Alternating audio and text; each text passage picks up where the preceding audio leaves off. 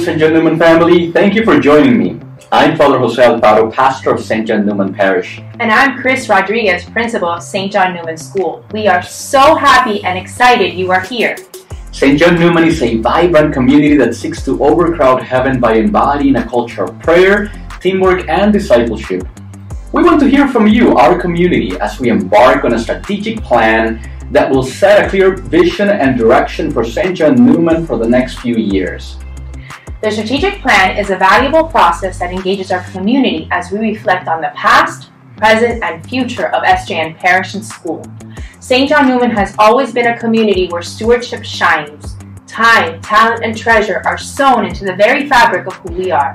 Whether it's our full and vibrant masses on the weekends or our school's reputation, our community consistently strives for excellence.